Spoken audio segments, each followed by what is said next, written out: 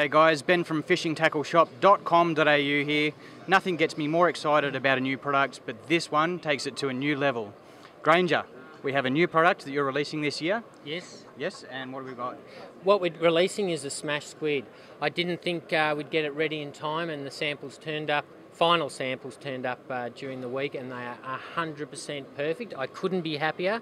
Um, from the initial brief over a year ago to the factory of what I wanted, they absolutely nailed it, and I'm so proud to release it here at AFTA, and I'm sure everyone that sees the videos and sees the items are going to be absolutely stoked.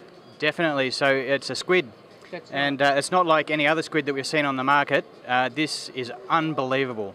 So it's 150 mil long uh, from the eyes to the front of the hood, 65 mil. It's unrigged, so you can use whatever weight you want. Obviously, we've got a 3 8 in here, um, and the whole idea of the squid was on its natural drop that the hood flaps would just curl like a real squid. So I'll put it in the drop tank and I'll show you Ben.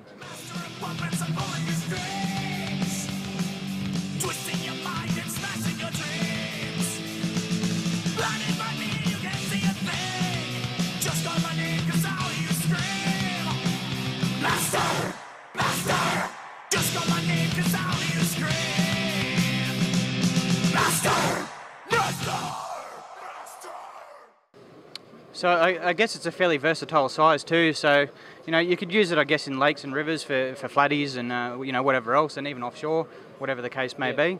Um, even when the legs are bitten off.